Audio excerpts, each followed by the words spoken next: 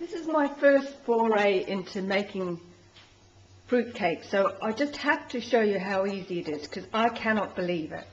All there is is one kilo of dried fruit there with two cups of coffee.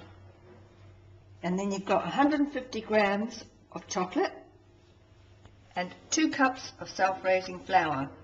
Now, this is something that I've added extra because you have to do that when you're a chef, don't you?